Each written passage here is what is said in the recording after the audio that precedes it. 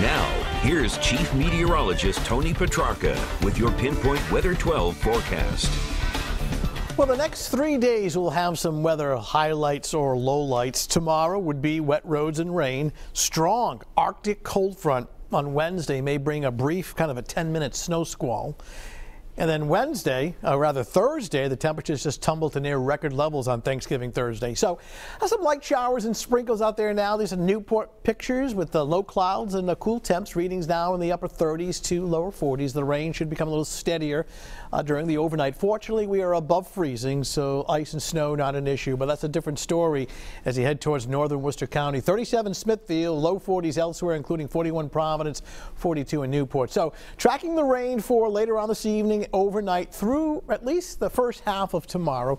It may end as a few snowflakes, um, northern suburbs late in the day. Not a big deal. Essentially a rain situation. Arctic cold front on Wednesday evening. What's interesting is that as this cold front comes through, and it really means business as far as knocking down the temperature, it may produce a quick kind of a 10, 15 minute snow squall. And I've seen this happen before with Arctic cold front. Sometimes you get a quick snow squall, and it may last only 10 minutes, but it can dust the ground in spots. That's something that we'll watch closely for Wednesday evening. Then the very cold air coming up on Thanksgiving Thursday. This is your weather gear, unfortunately, on Thanksgiving Thursday. Temperatures in the low 20s, wind chills in the single digits, and the wind gusting at times 40 mi uh, 30 miles per hour. So the cold air that we're anticipated for Thanksgiving is still locked up across Canada, but this will break loose and work into our area. Watch the uh, forecast over the next couple of days. This area of purple coming right on top of us Thursday morning, 7 a.m.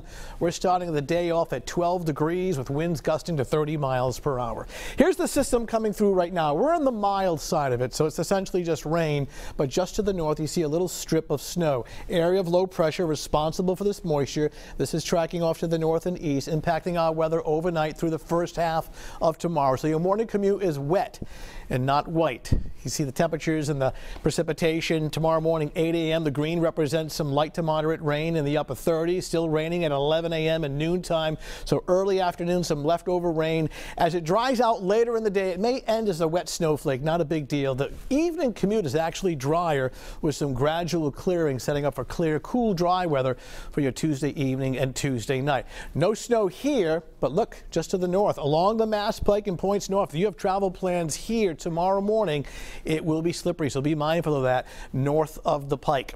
Tomorrow morning, uh, rain likely, chilly, temperature starting off in the upper 30s. Any leftover rain early in the afternoon will be ending by mid to late day with partial clearing by Wednesday evening. Here's that Arctic cold front on Wednesday. And watch what happens when it passes through Wednesday evening. A quick snow squall. Sometimes they can be intense, even though they last only, say, 10, 15 minutes. And then behind that front, boy, it turns cold. How cold? High temperature on Thursday, only 23. Wind chills in the single digits.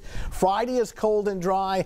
Weekend looks half and half here. Dry Saturday, some rain on Sunday with temperatures in the uh, lower 50s. So uh, starting off wet tomorrow morning, but drier by tomorrow evening. All right, Tony, thanks. New tonight, we're learning.